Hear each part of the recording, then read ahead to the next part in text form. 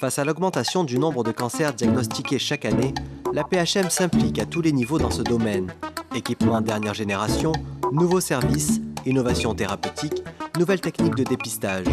Près de 400 lits sont consacrés à la cancérologie au sein des établissements de la PHM, permettant de suivre environ 10 000 patients par an.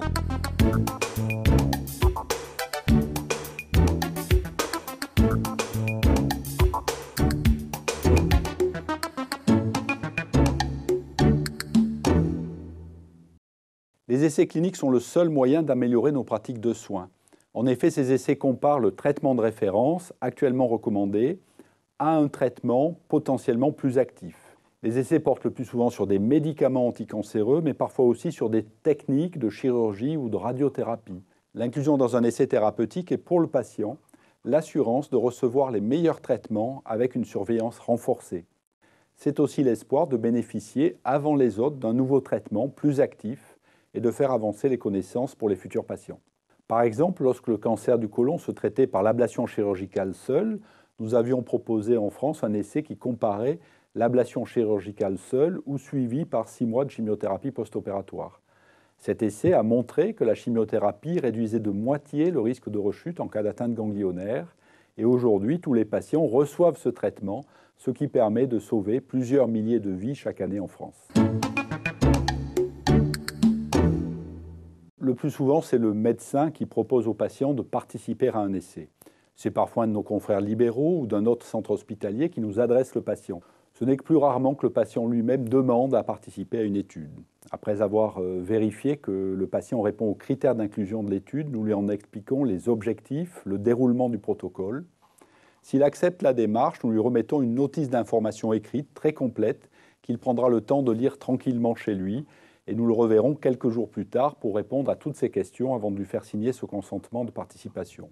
Une fois signé, euh, le patient fera tous les examens d'inclusion nécessaires au protocole, prise de sang, scanner. Il débutera ensuite son traitement. Il sera régulièrement suivi jusqu'à la fin de l'étude. Et durant toute la durée de sa participation, des données vont être recueillies, notamment la tolérance du traitement, l'évolution de la maladie, la qualité de vie. Ces données seront consignées anonymement dans des cahiers d'observation, puis elles seront analysées statistiquement par le promoteur pour démontrer ou non l'efficacité du traitement à l'étude. Toutes les quatre semaines, je crois, c'était, on faisait une semaine de chimio. Et bon, ça allait à peu près. Quoi. C'était quand même assez fatigant. Hein. Je suis resté pas mal de temps quand je remontais de la chimio, j'étais assez fatigué la semaine suivante. Les deux semaines d'après, ça allait, mais la semaine suivante, c'était un petit peu compliqué. Au bout d'un an de chimio, euh, on m'a proposé ce protocole que j'ai actuellement et j'ai accepté parce que je leur fais confiance. Je vais toutes les quatre semaines à la Timone avec un bilan sanguin que je fais à l'extérieur plus un bilan sanguin qu'ils me font le matin, à jeûne. Ils me donnent mes médicaments pour mes quatre semaines. Ils me disent si tout va bien ou si ça, il y a quelque chose qui ne va pas. Ou... ça va, hein, je prends mes cachets tous les matins. Il y a un petit peu des effets secondaires, mais bon, dans l'ensemble, ça va. Je travaille à la maison, je bricole, je m'occupe de mon chien, je vais aux champignons, je vais au bateau, je fais comme si j'avais rien. Quand je suis fatigué, je me repose, mais c'est assez rare. Voilà, tout va bien. Thank you.